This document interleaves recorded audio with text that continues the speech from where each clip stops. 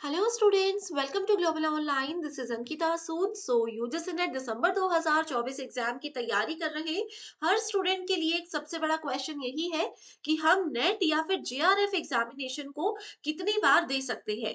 NTA ने officially कितने attempts एक स्टूडेंट के लिए यहाँ पर शेयर किए हैं? कितने अटेम्प्ट्स की एक लिमिट सेट की है?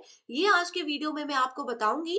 एंड जो भी इंफॉर्मेशन है, ये सारी ऑफिशियल इंफॉर्मेशन आपको दी जाएगी, ताकि आप में कोई भी किसी भी तरीके का कंफ्यूजन बाकी ना रह जाए। तो चलिए फिर इसी के साथ डिस्कशन को शुरू करते हैं।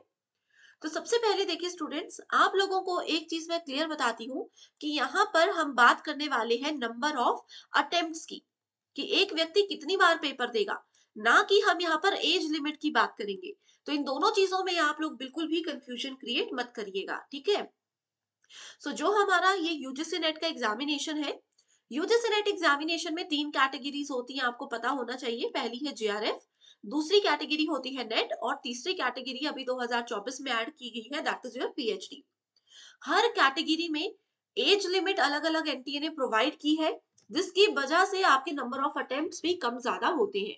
ठीक है? इससे रिलेटेड ऑफिशियल इन्फॉर्मेशन को हम देखते हैं, लेकिन उस पर जाने से पहले आपको बता दूँ कि स्टूडेंट्स एग्जामिनेशन के डिफिकल्टी लेवल के हिसाब से अपडेटेड पैटर्न के हिसाब से और प्रॉपर गाइडेंस के साथ अगर आप तैयारी करते हो तो आपके फ़र्स्ट अटेम्प्ट में भी आपका जेआरएफ क्वालिफाई हो सकता है। और इन सभी चीज़ों का ध्यान रखते हुए पेपर वन का कंप्लीट कोर्स मैं लेकर आई हूँ, जिसका न्यू बैच आज, यानी कि सेकेंड नवंबर से स्टार्ट हो रहा है। इसमें हम आपको रोज दो से तीन लाइव लेक्चर्स प्रोवाइड करवाएँगे।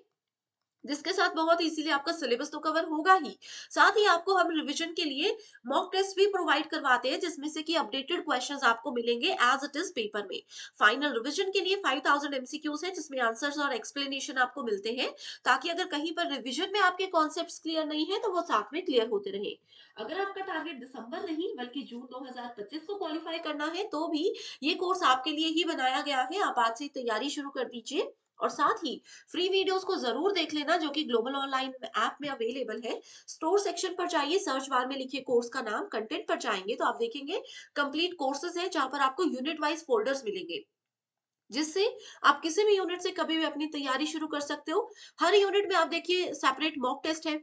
जो यूनिट आप पढ़ रहे हो, उस यूनिट के मॉक टेस्ट अटेम्प्ट कर लीजिए। उसके पीडीएफ नोट्स है, जिससे बहुत इजीली आपके रिवीजन हो जाती है। एंड वीडियो लेक्चर्स है, जहाँ पर आपको ऐसे ट्रिक्स बताए जाएँगे क्वेश्चंस को सॉल्व करने के, ताकि आप कम समय में मैक्सिमम क्वेश्चंस को सही से सॉल्व कर सके। तो यहाँ पर स्टूडेंट्स आपको दो व्हाट्सएप नंबर दे रही हूँ। आप इन पर कॉल या मैसेज करके डायरेक्टली हमसे कॉन्टेक्ट कर सकते हो। इसी के साथ आप बढ़ते हैं ऑफिशियल इंफॉर्मेशन पर।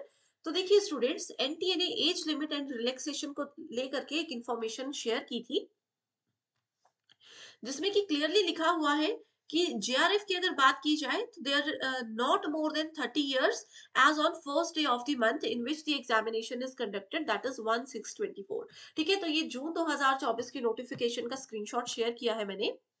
इसमें ये क्लियरली लिखा है कि जेआरएफ की एज लिमिट जो है वो थर्टी ईयर्स है।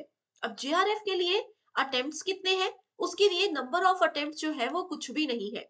आप चाहो तो 30 वर्ष के होने से पहले जितनी मर्ज़ी बार जेआरएफ की तैयारी कर सकते हो, जितनी मर्ज़ी बार जेआरएफ के लिए पेपर को दे सकते हो। ठीक है? अब बच्चे ये बोलते हैं कि मैम यहाँ पर नंबर ऑफ़ अटेम्प्ट्स होते हैं। मेरे एक फ्रेंड ने सिर्फ़ दो बार पेपर दिया, अब वो बोल रहे हैं कि जेआरएफ के लिए वो एलिजिबल नहीं है। तो मे बी ये हो सकता है कि जब उनके फ्रेंड 29 इयर्स के हुए थे, तब उन्होंने जेआरएफ की तैयारी शुरू की। और थर्टी आते ही उनका अटेम्प्ट खत्म हो गए, ठीक है? लेकिन वैसे अगर मैं रूल्स के साथ आपको बताऊँ तो कोई भी नंबर ऑफ़ अटेम्प्ट्स जैसी कोई लिमिट एनटीए ने फाइनल नहीं की है। एक व्यक्ति, एक स्टूडेंट अगर 24 या 25 साल की उम्र से एनटीए यूजीसी नेट पेपर दे रहे हैं जेआरएफ के लिए तो वो जब तक 30 वर्ष के ना हो जाए, वो हर बार पेपर दे सकते हैं। साल में दो बार एग्ज़ाम होता है जून और दिसंबर में, ठीक है? आप चाहो तो हर बार जितनी मर्ज़ी बार एग्ज़ाम दो, नंबर ऑफ़ अटेम्प्ट यहाँ पर बिल्कुल भी काउंट नहीं किए जाते हैं, ठीक है? इसके अलावा एक और अपडेट में देखिए यहाँ पर स्टूडेंट्स, एज लिमिट और आपका नंबर ऑफ़ अटेम्प्ट्स को एक साथ लेकर इसलिए चल रही हूँ क्योंकि मैक्सिमम स्टूडेंट्स को इन दोनों चीज़ों में लेकर कंफ्यूजन होता है। ठीक है? तो यहाँ पर देखिए स्टूडेंट्स अगर आपकी एज थर्टी ईयर्स है तो जेआरएफ के लिए अभी आप क्लोज हो चुके हो, आप इससे ज़्यादा अप्लाई नहीं कर सकते। लेकिन यहाँ पर साथ ही फाइव इयर्स का रिलैक्सेशन भी दिया गया है for the candidates who belongs to the category you OBC NCL ठीक है? S C S T P W D category से अगर आप हैं थर्ड जेंडर से अगर आप हैं, या फिर विमेन कैंडिडेट हैं तो आप लोगों को जो है पाँच साल की रिलैक्सेशन दी जा रही है, यानी कि आप सब लोग 35 इयर्स तक जीआरएफ के लिए अप्लाई कर सकते हो। अब यहाँ पर ये जो बचा 30 इयर्स वाला फंडा, ये बचा सिर्फ़ उन कैंडिडेट्स के लिए जो कि मेल है 30 इयर्स के हो चुके हैं और जनरल कैटेगरी से है। सिर्फ़ उन्हीं के लिए 30 इयर्स की एज लिमिट है, बाकी सब लोग 35 तक अप्लाई कर सकते हैं, ठीक है?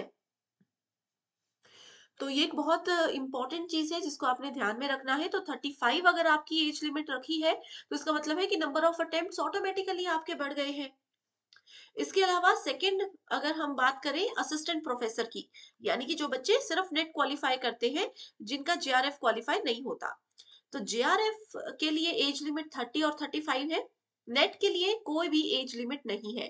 अब एज लिमिट नहीं है तो नंबर ऑफ़ अटेम्प्ट्स भी आप लोगों के पास जो है वो अनलिमिटेड होंगे। आप लोगों ने देखा होगा या नहीं आई डोंट नो अभी जो रिज़ल्ट आया यूजीसी नेट का, उसमें 1969 डेट ऑफ़ बर्थ के एक मैम का जो है वो नेट क्वालिफाई हुआ। यानी कि अब वो असिस्टेंट प्रोफेसर बनने के लिए एलिजिबल है। तो आप देख सकते हो कि इसमें कोई भी एज लिमिट नहीं है और नंबर ऑफ़ अटेम्प्ट्स भी नहीं है। एक व्यक्ति अगर इस उम्र में मान लीजिए जैसे अगर आप अभी 25-26 साल के हो, आप लोग अभी नेट की तैयारी कर रहे हो, बीच में किसी रीजन की वजह से जॉब लग गई, शादी हो गई, कोई भी रीजन की वजह से आपने पेपर देना छोड़ दिया, उसके बाद जब आप 40-45 साल के हो जाओगे, आप फिर अगर नेट की तैयारी में जुड़ना चाहते हो तो आप जुड़ सकते हो, क्योंकि यहाँ पर ना तो नंबर ऑफ़ अटेम्प्ट है, ना ही कोई एज लिमिट है। ठीक है? सिमिलरली पीएचडी के लिए भी कोई एज लिमिट नहीं है और नंबर ऑफ़ अटेम्प्ट्स भी यहाँ पर नहीं है। आप चाहो जितनी मर्ज़ी बार आप एडमिशन टू पीएचडी के लिए या फिर नेट के लिए इस एग्ज़ाम को दे सकते हो। ठीक है? तो ये जो भी कंफ्यूजन था स्टूडेंट्स में एज लिमिट और नंबर ऑफ़ अटेम्प्ट्स को लेकर के, मैं उम्मीद करती हूँ ये सारा क्लियर हो चुका होगा। ठीक है? अटेम्प्ट्स आप जितने मर्ज़ी दे सकते हो। आप चाहे पेपर पंद्रह बार दो, बीस बार दो, ये आपके ऊपर है। आपकी तैयारी के ऊपर है, ठीक है? जितनी मर्ज़ी बार पेपर दे सकते हैं, बस जेआरएफ के लिए एक एज लिमिट डिसाइड की है, जिसके बाद फिर आप अप्लाई नहीं कर पाओगे जेआरएफ के लिए, बाकी नंबर ऑफ़ अटेम्प्ट का कोई भी लॉजिक यहाँ पर नहीं है। और भी कोई डाउट्स है तो ये दो व्हाट्सएप नंबर्स आपको दे रही हूँ, कभी भी आप इन पर कॉल या मैसेज करके हमसे कॉन्टेक्ट कर सकती हो। So thank you so much everyone and I wish you all the very best